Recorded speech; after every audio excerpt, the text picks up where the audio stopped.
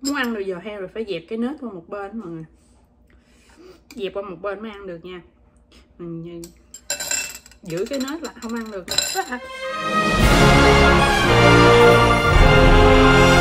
Hello tất cả mọi người, chào mừng mọi người đã quay trở lại với kênh của Sống Mỹ ở California. Hôm nay là Duyên có một cái món ăn cũng rất là ưa thích. Thì cái lần này là Duyên được uh, má chồng Duyên mua cho nha mọi người. Thì đó chính là ta-da, bún bò Huế. Thì à, cái món bún bò Huế này á mọi người cái chỗ này mà má chồng Duyên mua không phải là cái chỗ ngon nhất mà Duyên từng ăn. Đây là cái chỗ ngon thứ hai thôi. Còn cái chỗ ngon nhất đó là Duyên được ăn ở cái khu người Việt á mọi người ở khu quận Cam á. Thì à, cái này là ngon thứ hai nhưng mà cũng rất là ngon nha mọi người Duyên rất là thích. Và chỗ này cũng gần à, nhà Duyên hơn. Thì má chồng Duyên á mới sáng nó nghiện cổ má chồng duyên cũng rất là thích ăn bún bò huế. Mọi người mỗi lần má chồng duyên ghé ngang cái chỗ đó để mua là lúc nào cũng mua thêm hai phần để cho duyên với chồng duyên ăn hết trơn á. Thì à, cái lần này má chồng duyên mua hai phần nữa và duyên để dành. Duyên quay lại cho mọi người xem thử là coi là một cái phần bún bò Huế ở bên Mỹ người ta bán bao gồm những gì nha. Thì bây giờ Duyên sẽ khui bịch cho mọi người. Thì à, nghĩa là cỡ à, hai trăm rưỡi tiền Việt Nam á mọi người. 250 ngàn cho một phần bún bò Huế. Thì đây là cái bịch ở ngoài một cái bịch rất là chung chung. Hầu như là cái nhà hàng nào cũng dùng cái cái cái, cái bịch gói này mọi người. Nó có chữ thank chiều là cảm ơn á. Như vậy thôi một bịch màu trắng có chữ thank chiều vậy thôi. Còn à, bây giờ duyên thấy là nhiều nhà hàng người ta bắt đầu dùng cái bịch bằng à, giấy để bảo vệ môi trường á thì chỗ này vẫn còn dùng bịch ni lông nha mọi người. Thì ở đây nó có một cái à, bộ muỗng đũa. Cái đũa này duyên rất là ghét luôn á mọi người. Cái đũa loại này nè rất là uh, rất là có cái cái mùi thuốc tẩy á cái mùi rất là nặng nhưng rất là ghét cái đũa này không bao giờ duyên dùng luôn. Cái muỗng này thì quá chi là nhỏ nhỏ xíu luôn khó ăn lắm. Cho nên là cái này chỉ cho những cái người muốn ăn liền sau khi mua người ta ăn ở trên xe thì người ta sẽ dùng cái này. Còn khi mà duyên mua về nhà không bao giờ duyên dùng á duyên sẽ dùng những cái đồ ở nhà tự tự tự dùng cái đồ ở nhà thì nó an toàn hơn và nó sạch hơn đó mọi người. Cái đũa này nó rất là dơ và nó rất là nhiều uh, cái gì đó chất hóa học chất tẩy rửa. Ok đó là phần tiếp theo. Đó chính là một cái bịch rau sống bún bò Huế mà không có rau sống là nó nó kỳ kỳ mọi người nó thiếu thiếu cái gì á. Là cái bịch rau sống này rất là quan trọng. Thì ở trong này có uh, cải nồi tím nè mọi người. Cải nồi tím người ta sắc sợi nhỏ như vậy. Rất là ngon như mê cái này nhất luôn á. À, xong đó là có rau uh, rau thơm. Này là có quế với lại minh nha mọi người trời ơi. Mới hôm qua nay thôi mà đen vậy đó. Duyên mới lấy hồi, hồi chiều hôm qua và mấy, mấy chồng Duyên mới ờ, đi làm về là ghé mua là đưa cho ghé nhà đưa cho vợ chồng Duyên luôn. Mà bây giờ cái lá này nó đen thui như vậy rồi. Không ăn được. Ở trong này ngoài ra là còn có giá nữa mọi người. Giá. Quan trọng rất là quan trọng giá. Ngoài ra thì nghĩ là còn bắp cải nữa. Bắp cải nồi trắng bình thường nữa mọi người. Thì ờ, vậy thôi thông thường nhưng thấy cái bỏ chanh ở trong này nhưng không thấy chanh. Thì cái này là cái bịch rau. Còn đây là cái súp. Nhưng không cần mở ra, nó cũng thơm, mọi người nhưng bỏ tủ lạnh, nhưng cái mùi nó vẫn rất rất là nồng luôn, thơm lắm. Thấy dầu, bún bò Huế là nó phải có cái lớp dầu đỏ đỏ ở trên nè thơm. Và ở dưới là có thịt nha mọi người, ở trong đây người ta có thịt thịt bò bắp, với lại à, giò heo thì phải không biết trong này có huyết không? Không biết lần này má chồng duyên mua có huyết không? Mấy lần trước là có huyết nữa. Xong rồi, cuối cùng là một cái hộp nha mọi người. Đây là cái hộp cuối cùng trong cái bịch một hộp màu trắng. Một, hai, ba. Ta ủa? Sao trong này có một bịch rau nữa vậy? À chắc là cái bịch rau đó chồng Duyên không ăn bỏ vô vô cái bịch của Duyên á cho nên Duyên có được hai bịch rau. Chứ bình thường người ta cho một bịch thôi bịch rau nè mọi người giống bịch hồi nãy á. Xong rồi à, trong này có một miếng chanh nè à, cái hũ sa tế. Trời thơm Duyên mê cái sa tế này lắm nhà Duyên cũng có sa tế. Cái giò heo à cái giò heo người ta bỏ trong bịch riêng vậy nè mọi người người ta không có bỏ vô cái hộp súp mấy lần trước là Duyên thấy bỏ chung như cái hũ súp luôn nhưng mà lần này lại bỏ trong cái bịch riêng như vậy một cái miếng giò heo. Trời ơi mê giò heo lắm mọi người ghiền giò heo. Đây là à, hành à, hành à, ngò sắc nha mọi người. Còn đây là bún bò bánh bún bò. Luộc sẵn rồi bỏ tủ lạnh thì Diễm quan lại nhưng phải hâm và nấu lại thì nó mới mềm không thôi nó cứng lắm mọi người. Cứ bỏ vô bỏ súp vô là ăn là rất là cứng nói mà bây giờ chảy nước miếng rồi.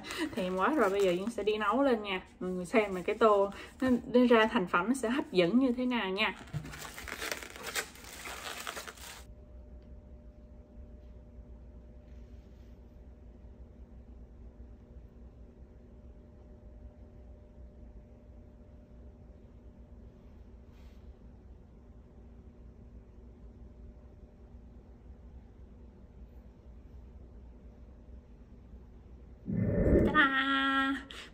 Mọi vừa nấu xong luôn khói còn bay nghi ngút nóng hổi luôn. Thì à, mọi người có thắc mắc là tại sao hồi nãy Duyên quay có một cái cục giò heo mà giờ thành hai cục không? Tại vì chồng Duyên không biết ăn giò heo mọi người không không biết ăn mà là không thích ăn không thích ăn giò heo cho nên lần nào cũng đưa cho Duyên thêm một cục giò heo rồi Duyên thành hai cục. Ở đây là rau sống nè đây là thịt bắp nè. Thịt bắp thịt bắp trời nóng hổi luôn. Thơm quá mọi người cái mùi sa tế á, thơm nực nồng lên mũi luôn á còn cái này là gân nó dai dai nó ngon ngon mà cái vị rất là ngon mọi người bởi vì nó thấm nó, người ta bán người ta bỏ cái này vô luôn cái hũ súp của cái uh, bún bò Huế cho nên nó thấm vô cái vị đó với lại cái này nó dai dai giòn giòn xong rồi nó khó tả lắm mọi người. Duyên ăn mấy cái này duyên mê nhất là giò heo và gân á còn thịt thì duyên không quan trọng lắm không có thịt cũng không sao. Rồi bây giờ mình bắt đầu ăn nha mọi người. À còn cái sốt này à, cái sốt này duyên bỏ sa tế nè chút xíu nước mắm và một chút xíu chanh nha mọi người. Mọi người ăn theo kiểu đó thì cái sốt đó siêu ngon siêu đơn giản nhưng mà siêu ngon chấm vô, vô cái bún bò huế là hợp lắm luôn á. Thì duyên sẽ cột tóc lên để mình ăn cho dễ nha. Mình vô trận thôi mọi người ơi. Trời bây giờ Duyên sẽ trộn lên nha. Trời ơi nó thơm. Lần này Duyên không thấy chả mọi người mà chỉ có gân bò à, bò bắp và giò heo thôi không có chả không có à, huyết. Bởi vì má chồng yên nói chỗ đó không ờ, không phải lúc nào nó cũng có đầy đủ mấy cái món đó. Có ngày tới thì nó có cái này không có cái kia. Tại vì này trong mùa dịch đó mọi người người ta bán cũng ít lắm. Cho nên là người ta không có mua đầy đủ những cái món nguyên liệu đó. bán ít lắm mọi người. Còn dịch á bây giờ thì nhà hàng người ta cho mở cửa đi vào bên trong ngồi ăn rồi lúc trước là bắt ngồi ở ngoài sân á người ta che những cái ờ, cái cái rạp nhỏ như rạp đám cưới vậy đó mọi người. Mình ngồi ăn ngoài sân mình có người phục vụ ra tới tận nơi luôn. Bây giờ người ta cho vô ăn rồi. Trời cái cục giò heo. Thường thường á dương ăn á mà không biết có giống gì không à nhưng toàn à, để dành những cái gì ngon nhất duyên ăn cuối cùng không à cuối cùng mà không được ăn là tức chết luôn á mọi người. Duyên thử cái nước nha, trong đây duyên đã cho một chút xíu thêm sa tế và chanh ở trong cái súp này.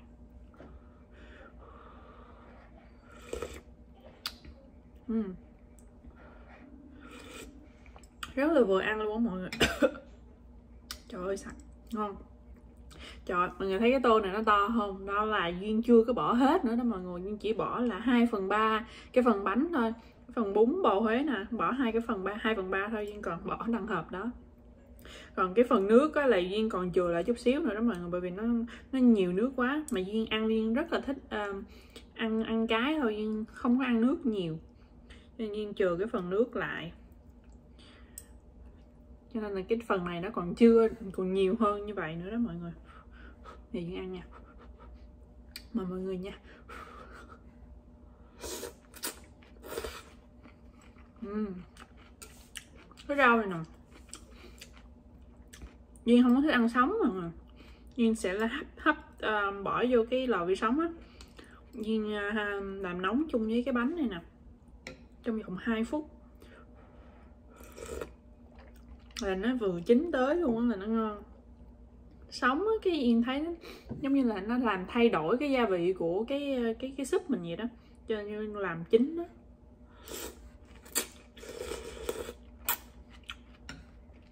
uhm. hôm nay là duyên ăn hơi sớm đó mọi người. Bây giờ là mới có 11 giờ mấy thôi. Bình thường đó là tới 1 1 giờ chiều, khoảng 12 giờ mấy 1 giờ là duyên mới bắt đầu duyên ăn ừ.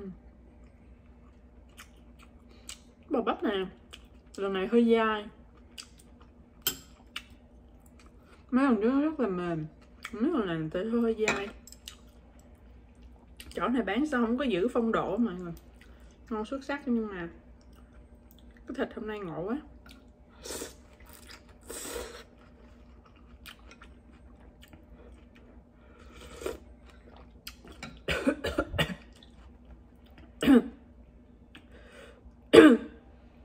Trời chết rồi. Sạch nhưng bỏ thêm sa tế mọi người. Ham hố quá nhưng bỏ thêm sa tế. Hơi cay nha nhưng mà ăn cay mới ngon.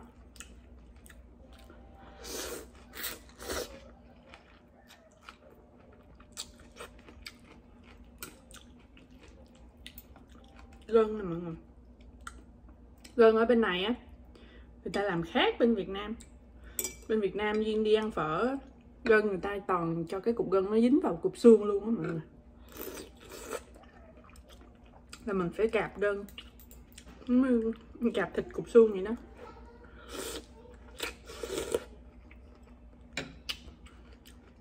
Còn ở bên Mỹ á người ta không có bán gân với xương chỉ gân thôi mọi người. Xong rồi người ta luộc á người ta bỏ vào một cái cái khuôn xong người ta ép lại ép chặt lại cho thấy nó thành một khối giống như là uh, rau câu vậy đó. Xong rồi người ta cắt ra mọi người.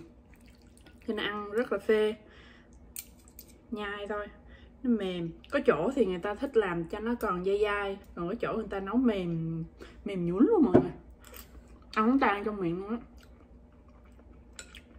Nhưng mà duyên là duyên thích nó dai dai. Nhai nó đã. Nó mềm quá thì đâu có gì đâu ăn mọi người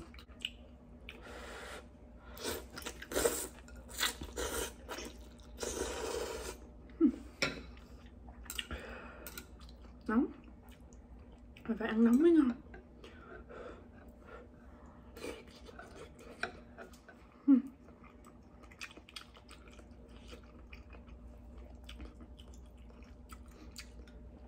Để chọn giữa bún bò Huế và phở á, nghĩa là Duyên sẽ thích phở hơn mọi người. Bún bò Huế thì là lâu lâu ăn một lần thôi. Còn phở là bây giờ ngày nào ăn, ngày nào cũng ăn là Duyên cũng ăn được luôn phở nhưng có thể ăn mỗi ngày.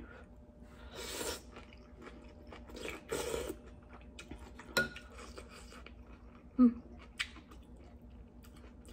Ở dưới quê gì đó ăn phở vào buổi sáng là cũng coi là hơi xa xỉ á mọi người. Đặng sang á.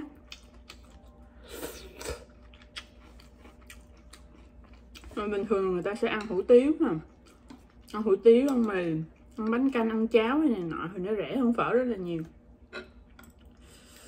Người ta nấu bằng thịt heo quá mọi người. Phở nấu thịt bò thì nó mắc hơn. Thì những ngày mình cảm thấy sang sang thì mình mới đi ăn thôi, chứ không phải là ngày nào mình cũng được đi ăn phở.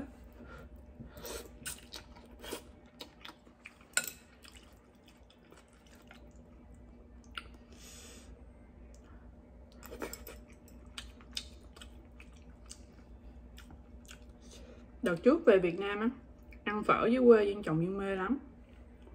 Cái cách người ta nêm nếm cũng khác. Cái thịt nó cũng khác mọi người và cái súp nó cũng khác. Cái bánh nó cũng khác hơn bởi vì bánh phở bên đây người ta làm bằng bánh hủ tiếu.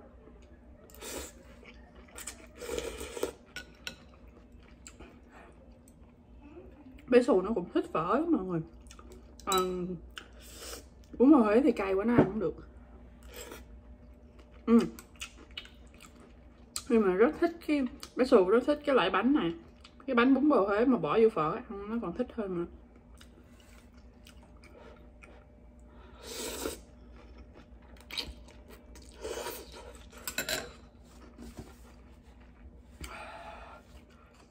ăn mà nó nhả ra khói luôn. Vừa nóng vừa cay. Nó kích thích vị giác. Nó cay nó chua chua của chanh á.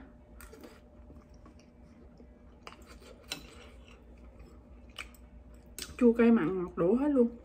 Ăn mê luôn. Này là phải cảm ơn má chồng Duyên nè.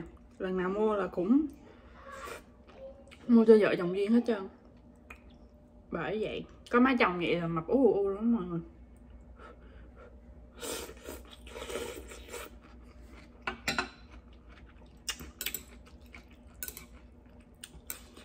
Mấy chồng duyên cũng rất là có tâm hồn ăn uống giống như duyên vậy. Hai vợ chồng duyên cũng rất là mê ăn uống. Mấy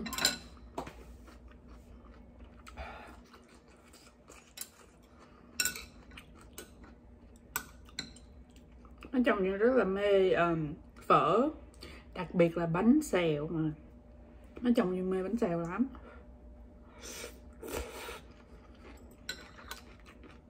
Với lại nem cuốn.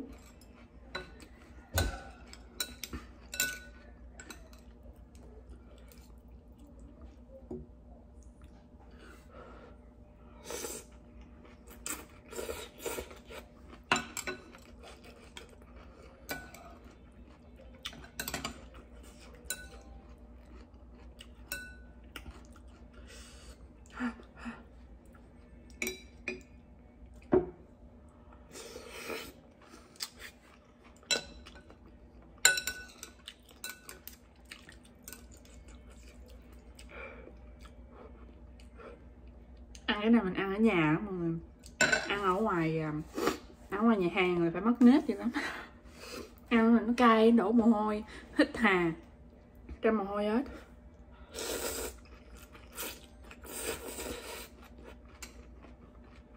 Ăn ở nhà mới xả láng rồi thôi. Đi ra nhà hàng là phải khép nếp lại. Không tự nhiên, nó không có ngon cho lắm.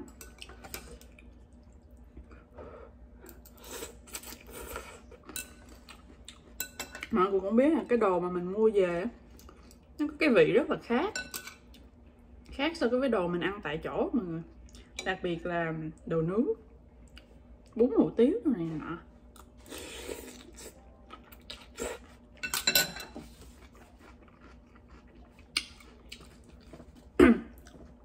Không biết mọi người sao chứ. Chứ duyên là duyên ho đó. chứ là duyên thấy là bún bò huế mua về nhà nó sẽ ăn sẽ ngon hơn. Còn cái phở á, mình ăn tại chỗ nó sẽ ngon hơn. Cũng không biết tại sao.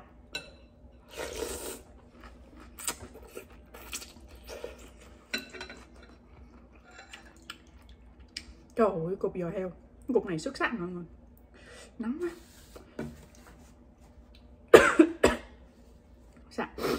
Cục này xuất sắc cái cục kia thì nó hơi nhỏ với lại gần phần móng á nó không có gân nhiều. Ăn giò heo là duyên thích cái nhưng không thích ăn thịt không thích cái phần gân. Ừ.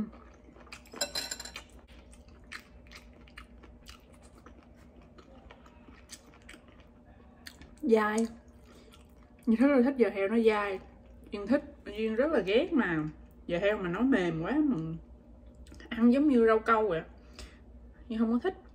Dai da như vậy nhai nó thích hơn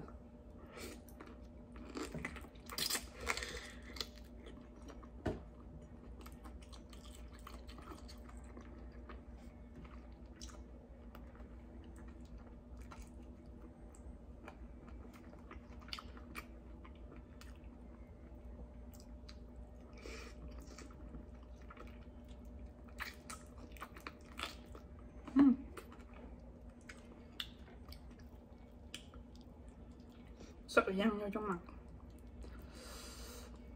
Ê mình có tin là chồng duyên ngủ vẫn chưa dậy không?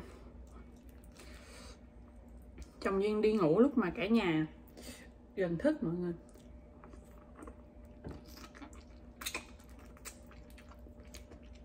Toàn đi ngủ 6 7 giờ sáng.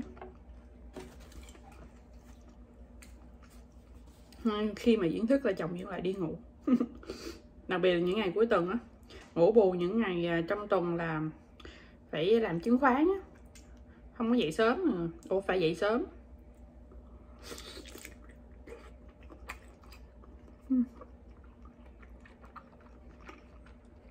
Lắm rồi vậy không ăn giò heo á.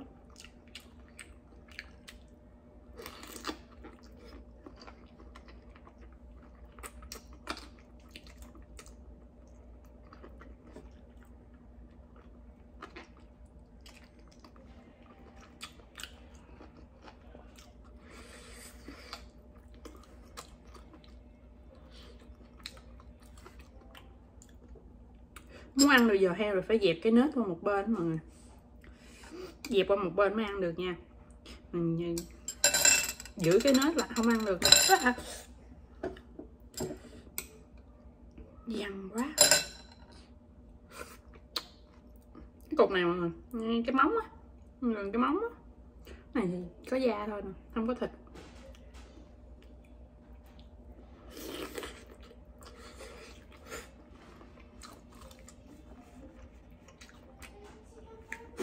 Ngoài làm hoành thánh ra thì nhà duyên rất là thích ít ăn thịt heo. Bởi vì chồng duyên không thích. Duyên mà nấu thịt heo á còn có mình đi à, kho hay là làm cái gì cũng vậy mà chồng duyên không có thích ăn thịt heo. Ăn thịt bò thôi. Thịt bò với cá với tôm hải sản.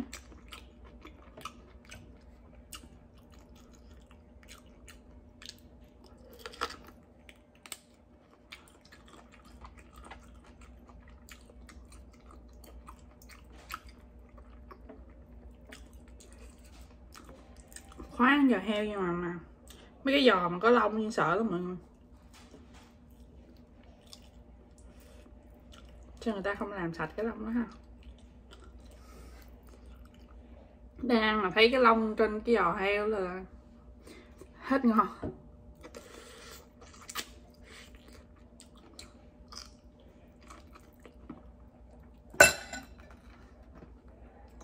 Rồi nó rớt vậy là có nghĩa là nghỉ ăn rồi là trời ơi, tự nhiên ăn mà diễn chùi cái miếng giấy nè. Siêu cam, siêu đỏ luôn mọi người. Sa tế rồi như nè.